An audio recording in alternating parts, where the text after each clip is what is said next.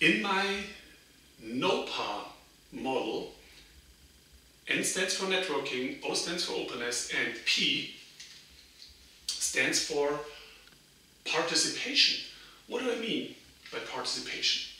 Now, in the old world, we have an organization with the CEO on top.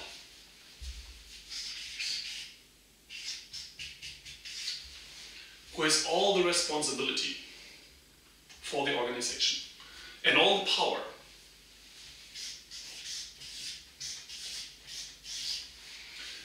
Now, he's giving and sharing this power with his subordinates, let's say with the directors, for example.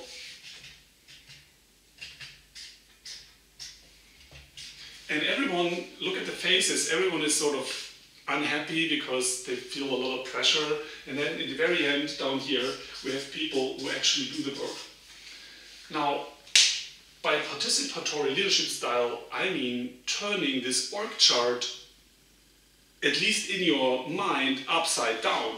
And now look what's happening to those faces.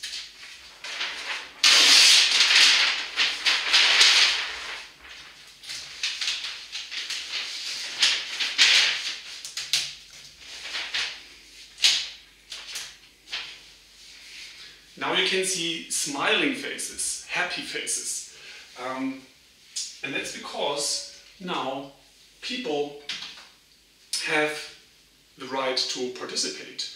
Now the leaders share the power they have with the people working in this organization. That's what we call empowerment.